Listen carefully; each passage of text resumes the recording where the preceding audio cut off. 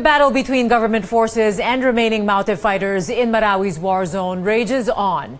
Nine more Maute stragglers are killed in a fresh firefight. One of them was a high-ranking official in the terror group. Our Rex Remito is in Marawi City to tell us more.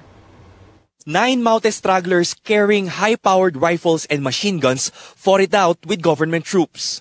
Joint Task Force Ranao Deputy Commander Romeo Browner says the terrorists had no choice but to open fire as soldiers surrounded them. Lumaban na sila. Talagang lumaban po sila.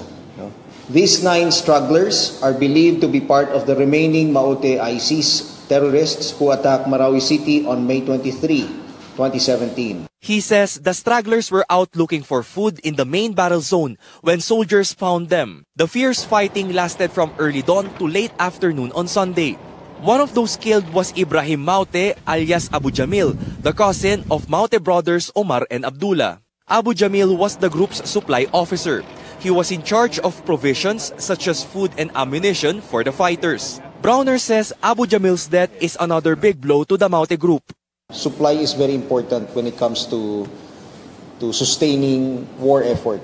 Kaya uh, very important yung naging role ni Abu Jamil.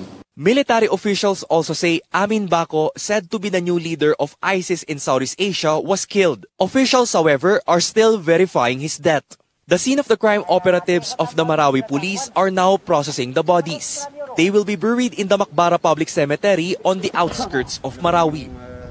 Allahumma arhamhum Lanao del Sur board member and Imam Abdul Hamid Amerbitor says Maute fighters still deserve a decent burial even if they killed some soldiers and civilians. kahit Maute man yan o rebelde man yan, uh, uh, pinanganak na Muslim siya.